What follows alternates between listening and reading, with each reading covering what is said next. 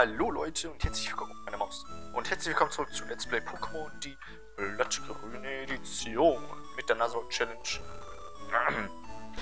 In der letzten Folge haben wir unseren Starter bekommen, den guten Erasco, der uns aber nicht auf ewig folgen wird. Außerdem haben wir Cloud eine äh, Denkzettel verpasst und wir stehen jetzt hier vor dem hohen Gras und wir jetzt einfach mal reinlaufen werden in Richtung Bertania City. Hier ist ein netter Herr. Hallo, was haben Sie zu sagen?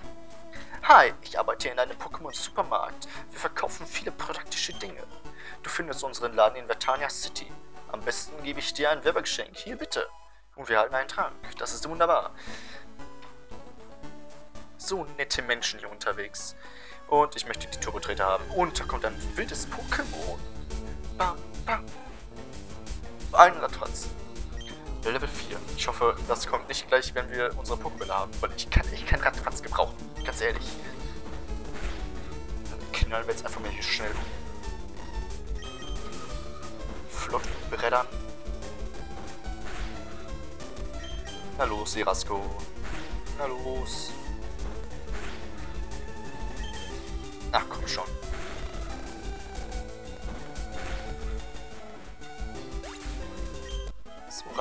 Besiegt. Wir erreichen Level 7 mit Erasco. Das sieht ja immer besser, ey. Tada, tada. Und wir... Äh, Erasco erlernt Egelsamen. Das ist ja wunderbar. Und hier ist doch noch ein Herr gewesen. Stimmt hier. Hallo. Ey.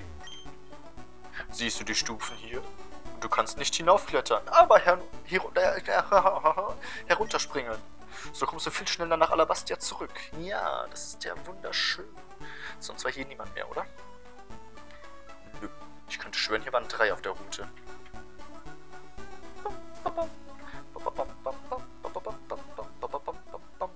Und wir sind in Latania City. Was hat dieses Schild zu sagen? Tipps für Trainer.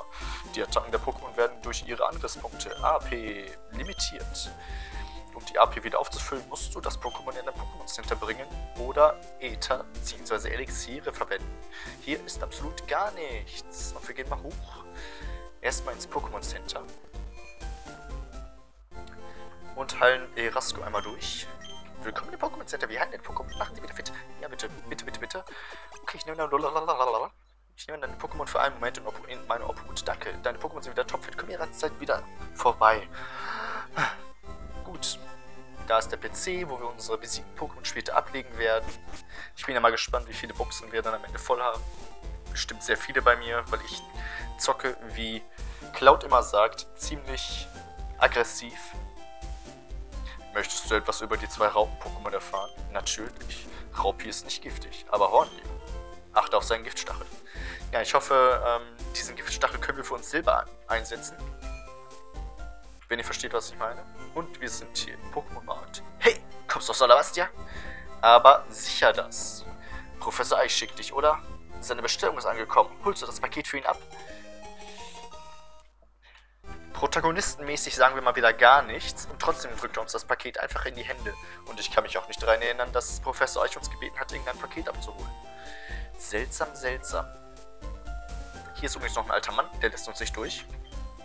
Großvater, sei nicht so gemein. Er hatte noch keinen Kaffee. Der muss ja wirklich ziemlich alt sein, weil die Dame hier sieht ja schon ziemlich alt aus. Du kannst hier nicht durch. Das ist ein Privatgelände. Ja, so sind die alten Senioren bei uns auch immer. Wenn sie ihren Kaffee noch nicht hatten, legen sie sich einfach quer auf den Boden und lassen keine Leute durch, weil es ja ihr Privatgrundstück ist. Das ist absolut logisch. Hallo. Diese Pokébälle in deinem Gürtel zeigen dir, dass du Pokémon besitzt. Bist du betrunken? Ich habe doch nur einen am Gürtel. Es ist klasse, dass man jederzeit Pokémon tragen und einsetzen kann, nicht wahr? Ja. Hier hinter dem armen, äh, hinter diesem Busch ist jemand eingesperrt. Der kommt nicht weg. Der arme Mann. Gut, ich glaube, wir haben jetzt mit allen Leuten geredet, außer mit den Leuten hier im Haus. Wenn jemand im Haus ist. Ja, hier sind welche. Ach ja, es ist ja wieder die Schule. Ich vergesse immer, dass das eine Schule ist, weil die von außen nicht so aussieht. Puh, ich versuche meine Notizen auswendig zu lernen. Dann mach das. Was steht denn da drin? Aha, aha, aha. Du schaust in das Notizbuch. Erste Seite.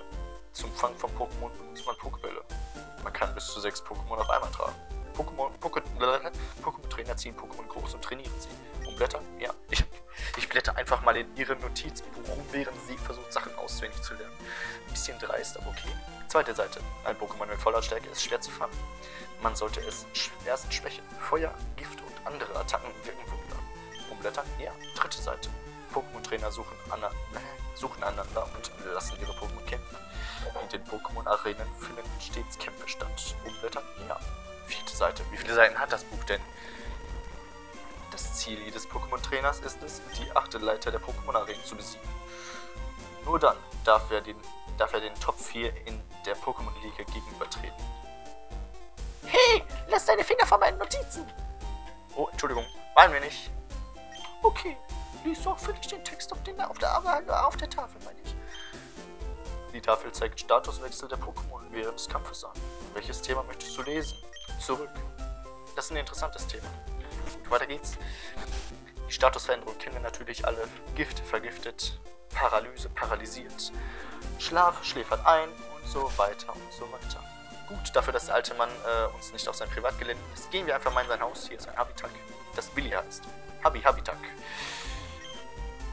Mein Papa mag Pokémon auch sehr gerne. Das ist wunderbar. Was hat denn dein Papa zu sagen? Es macht Spaß, sich Spitznamen auszudenken, aber es erfordert viel Einfallsreichtum. Einfache Namen kann man sich leichter merken. So wie Willi. Stimmt. Aber ich hätte ein Vivor eher Willi genannt. Gut, ähm, da gehen wir. Doch, wir gehen hier schon mal hin. Denn hier befindet sich ein Secret Item. Und zwar noch ein Trank. Jetzt haben wir schon drei. Hätten wir Zerschneider, können wir den alten Mann austricksen. Schade, dass wir das nicht haben. Wieder zurück nach Alabastia, aber den safen Weg,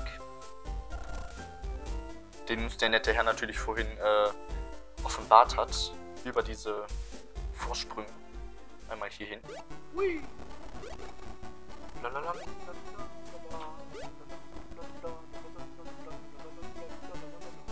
Schön um die Gebüsche rum.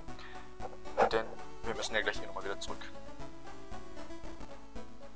So, wir sind zurück in Alabastia. Einmal schnell ins Labor, damit wir dem alten Professor hier seine Pokebälle abgeben können. Oh, jetzt habe ich gespoilert. Entschuldigung, das Paket meine ich natürlich. Hallo, Deathrock. Wie geht es dem, wie geht es dem Pokémon? Es scheint dich sehr zu mögen. Du musst als Pokémon-Trainer sehr talentiert sein.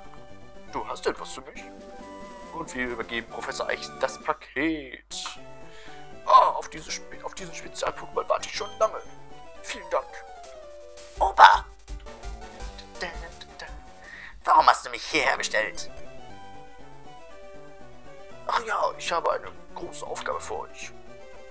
Auf dem Tisch dort seht ihr eine Erfindung von mir, den Pokédex. Er erfasst automatisch Daten, Pokémon, die man gefangen oder gesehen hat. Er ist eine Art Hightech-Lexikon. Faszinierend. Deathrock Cloud. Diese beiden sind für euch. Blub, blub. Und wir hatten einen Pokédex. Es reicht nicht, Pokémon zu sehen, um detaillierte Informationen über, über sie zu sammeln. Du musst sie fangen. Benutze das hier, um wilde Pokémon einzufangen. Wir erhalten Pokébälle, unsere Pokébälle. Ab jetzt gelten die Regeln des Pokéfangs. Taucht ein wildes Pokémon auf, so kannst du es fangen. Wirf einfach einen Pokéball und versuch es. Doch du wirst oftmals keinen Erfolg haben. Was? Quatsch. Wir sind Pokémon-Meister. Wir, wir versuchen es nicht, wir fangen einfach. Ein gesundes Pokémon entkommt schnell. Man muss schon etwas Glück haben. Ein Lexikon über alle Pokémon der Welt. Hm. Das war eben mein Traum. Aber ich bin zu alt. Ich schaffe es nicht mehr. Also bitte ich euch, meinen Traum zu verwirklichen, während ich im alten Heim auf euch warte. Macht euch auf den Weg. Dies ist eines der, eines der bedeutendsten Projekte sogar in der Geschichte der Pokémon. Alles klar, Opa, lass es ruhig mir. Deathrock, es tut mir leid, aber ich brauche deine Hilfe nicht. Genau, ich leihe mir von meiner Schwester eine Karte. Und die soll es keine geben. Ah! So eine Gemeinheit. Na, warte. Wenn ich den nochmal in die Finger kriege, dann wird der sein blaues Wunder erleben. Ja, dann lassen wir jetzt mal unseren Charme spielen bei Sarah. Hallo, Sarah. Opa hat dich um einen Bodengang gebeten. Hier, das wird dir weiterhelfen. Das war ja einfach. Der Sorge hält eine Karte. Juhu. Vielen Dank, Sarah. Und ratet mal, was ich wieder nicht gemacht habe. Ich habe mal wieder nicht auf die Uhr geguckt. Ich werde es, glaube ich, nie lernen. Und ich würde sagen, wir fangen jetzt unser erstes Pokémon. Was wird das wohl sein? Bitte, bitte, bitte, bitte, bitte. Ah, ein Topsy, ja. Geil. Los, Erasto, es ist leider Level 3. Das heißt, wir könnten es tatsächlich aus Versehen umhauen. Wir versuchen einfach mal Tackle.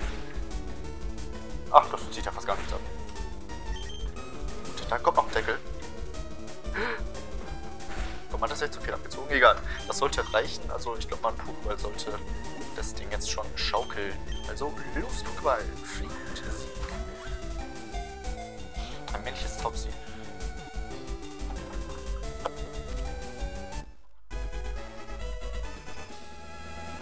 Und wir haben einen Taubsi gefangen, unser erster Teamkollege, der nach diesem komischen Soundruckler hier ähm, mit Erasco unser Team bilden wird. Ja, für Topsy wurde ein Eintrag im Pokédex erstellt.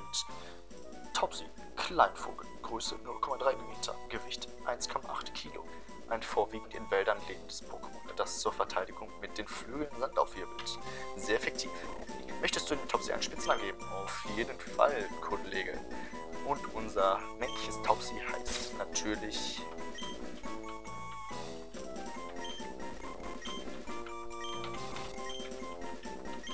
Captain. Oh, Captain, mein Taubsi. Gut, weiter geht's. Ähm, wir packen Captain noch direkt mal nach vorne, damit der hier ein bisschen EP leechen kann. Ist ja logisch. Warum leckt das Spiel so? Gut, das heißt, wie, äh, um das jetzt nochmal zu verdeutlichen mit den Regeln, wir öffnen jetzt einmal ganz kurz die Karte zur Veranschauung. Wir haben uns gerade auf Route 1 befunden. Wir befanden uns gerade auf Route 1, so heißt es richtig, Desolok. Und da haben wir das erste Pokémon, was wir getroffen haben, nachdem wir die Pokébälle hatten, nämlich das Taubsi, gefangen. Das heißt, auf Route 1 können wir keine Pokémon mehr fangen. Hätten wir dieses Taubsi jetzt besiegt, hätten wir auf dieser Route trotzdem keine Pokémon fangen können und müssten ohne Pokémon von dieser Route aus weitergehen. Als nächstes äh, werden wir uns auf Route 22 begeben. Ich setze mich mal ganz kurz richtig hin, weil ich sitze hier gerade ziemlich unbequem. Oh. So. Auf Route 22 werden wir jetzt gleich unser nächstes Pokémon fangen. Und danach geht es auch schon weiter auf Route 2. Auf Route 2 können wir einmal da ein Pokémon fangen. Da befindet sich, da befindet sich der Vertania-Wald, wo wir ebenfalls ein Pokémon fangen können. Da befindet sich die Dicta-Höhle, in der wir ebenfalls einen Dicta fangen können sofern es unter dem Level des Arenaleiters ist. Dann befindet sich Mamoria, Mamoria City. Und ja, bis dahin müssen wir kommen. Und unser erstes Level Cap ist wie gesagt das Level 14 Onyx von Rocco. Also wir dürfen Level 14 mit keinem Pokémon überschreiten, sonst muss das Pokémon raus. Gut, würde sagen, wir gehen jetzt einmal zum Pokémon Center, heilen unsere Pokémon und gehen auf Route 22 und fangen uns irgendwas Schönes. Ich hoffe, es ist etwas Schönes. Und nicht wieder irgendwie, keine Ahnung, Radfratz. Ich weiß noch, bei einer Nuzlocke Challenge, da hatte ich irgendwie drei oder vier Radfratze irgendwie bis zum vierten Ohren gefangen. Das war wunderbar. Und davon hat es tatsächlich nur ein, ein, ein Radfratz hat tatsächlich nur bis ähm, Level 20 Radikal geschafft. Alle anderen waren vorher tot oder ausgewechselt. Gut, hier ist Route 22 und wir fangen jetzt unser nächstes Pokémon. Was es wohl sein wird. Oh, bitte was Tolles, bitte, bitte, bitte. Nein, Kacke! Radfratz. Scheiße. Aber es ist Level 3. Das heißt, Captain könnte es tatsächlich selber machen. Und für den Anfang müssen wir sie leider alle fangen, weil wir brauchen hier wirklich alle Teammitglieder, die wir kriegen können.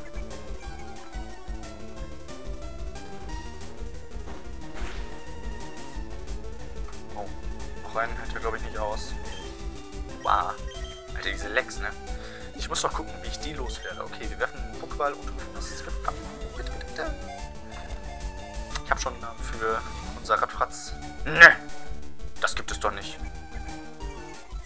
ohne People. Hm. Dann probieren wir es auf eine an. Alter! Gut, äh, dann probieren wir es auf diese Art und Weise und das. Boah. Hallo? Hallo? Wo kommen die Lecks denn her? her. Egelsamen. Es ist ausgewichen. Ich kriege die Tür nicht zu.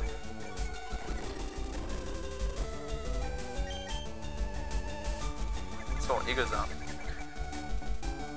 Äh, eine andere Attacke kann ich leider nicht einsetzen, da alle anderen Attacken zu viel Schaden machen. Zack. Ich hoffe, es macht jetzt nicht zu viel Schaden. Ah, das sieht gut aus. Da können wir noch ein paar, äh, ein paar Versuche starten. Sofern wir noch Pokébälle haben. Oh, komm schon, ey. Du bist doch fast tot, ey. Ich könnte mal pusten. Chaka Chaka. Hat Franz gefangen. Oh, ich freue mich jetzt schon aufs Offscreen-Chaining. Wenn ich das mal so sagen darf. Für Radfratz wurde ein Eintrag im Pokédex eröffnet. Um es nochmal äh, nachträglich zu sagen, was ich wieder nicht gemacht habe. Radfratz, Maus, Größe 0,3 Meter, Gewicht 3,5 Kilogramm. Ein kleines, sehr wendiges und bissiges Pokémon, welches in vielen Gegenden heimisch ist. Ja, leider. Möchtest du dem Radfratz einen Spitznamen angeben? Ja, das möchte ich und muss ich. Da es ein weibliches Radfratz ist, wird ihr Name Briss... Upsala. Brisby. Wer den Kinderfilm kennt, Mrs. Brisby und das Geheimnis von Nim. Ist jetzt so der einzige Maus- und Rattenname, der mir eingefallen ist. Und es geht nochmal zum Pokémon Center. Ja, ja, ich weiß, dass das ein Pokémon Center ist. So, und ich glaube, auf Route 2 gibt es eh nur Taubsi oder Radfratz zu fangen. Das heißt, wir werden jetzt sowieso ein Pokémon doppelt kriegen. Was wunderbar ist. Nicht. Kommt die derzeit wieder vorbei. Gut. Und bevor wir nach ähm, Mamoria City aufbrechen, werde ich hier noch auf Route 22 gegen unseren Rivalen kämpfen. Oh nein, jetzt kommt der alte Sack. Nun, jetzt hatte ich, äh, jetzt hatte ich meinen Kaffee und das ist alles, was ich brauche, um loszulegen. Hm? Was war denn das für ein Leck? Was ist, was ist das für eine rote Box? Ah, du arbeitest an einem Pokédex. Dann will ich dir einen Ratschlag geben. Der Pokédex wird mit jedem neu gefangenen Pokémon aktualisiert. Du weißt nicht, wie man Pokémon fängt? Ich glaube dem Protagonisten nicht. Der, der kann das nie im Leben gesagt haben. Wir haben doch schon zwei gefangen. Ich sollte es dir wohl besser zeigen. Nein!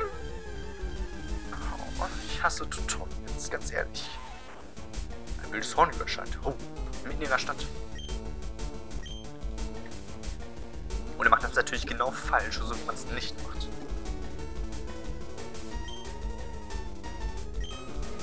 Man fängt Pokémon nämlich nicht, wenn sie volles Leben haben. Du alter Mann. Und er schafft es auch noch. Toll, Hornio wurde gefangen.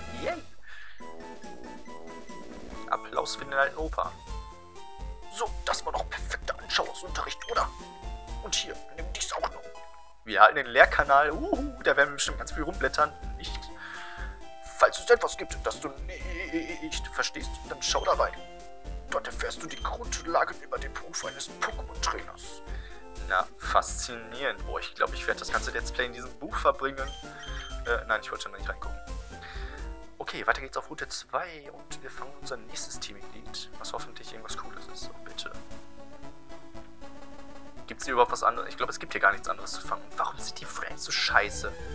Alter, 15 Frames. Du willst mich verarschen. Yay, wir haben noch ein Radfranz. Oh nee, noch, noch ein weibliches. Ich kenne keine weiblichen Rattennamen. Das ist Level 4. Und kassiert erstmal einen Tackle. Bitte kein... Oh, oh, oh, oh, oh. Mama, das tut weh. Crispy sollte eigentlich auch zwei Tackle aushalten und eine raushauen können. Habe ich jetzt Crispy gesagt? Ich hab's gar nicht. Ich hab's selber gar nicht mitgekriegt. Tackle. Los. Hau raus. Knall so. Komm. Schön. Wir werfen den Pokéball und haben noch einen Radfratz gefangen. Ja, man kann ja nie genug Radfratze haben. Ist ja meine Devise. Chaka Chaka. Toll, Radfratz wurde gefangen. Ja, das ist einfach nur wunderbar. Ich möchte gerne frohlockend in die Luft springen. Gut, nennen wir denn dann die andere Ratte? Äh, Radfratz meine ich. Ich kenne keine weiblichen Rattennamen außer Crispy.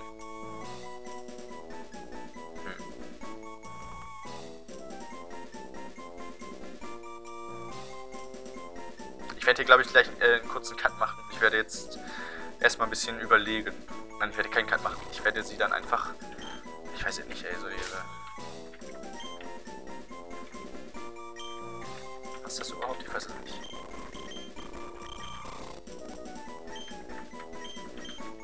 So, Flöckchen, eine Hommage an diese völlig un... Ähm, uneinfallsreichen, einfallslosen heißt es sogar, ja, Deathrock, es heißt einfallslos. Diese einfallslosen äh, äh, Nagernamen, die kleine Mädchen ihren Nagern immer geben. geben. Flöckchen, Wölkchen, Flecki und wie sie nicht alle heißen. Die armen Tiere. Okay, da ist der Vertania-Wald, das heißt, wir gehen erst einmal zurück. Wir haben unseren Rivalen immer noch nicht besiegt. Ich weiß gar nicht mehr, was der hatte, ey. Der hatte, glaube ich, auch schon Level 9er Pokémon, wenn ich mich nicht. Ja. Level 9 Glumanda, Level 9 Taubsi und Level... Schieß mich tot. Ich glaube Level 7 Radfatz. Ich weiß es nicht. Erstmal heilen wir unsere Pokémon.